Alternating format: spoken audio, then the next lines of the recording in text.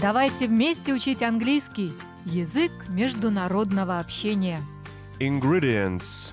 Ингредиенты. Cook. Повар. What are the ingredients of this dish?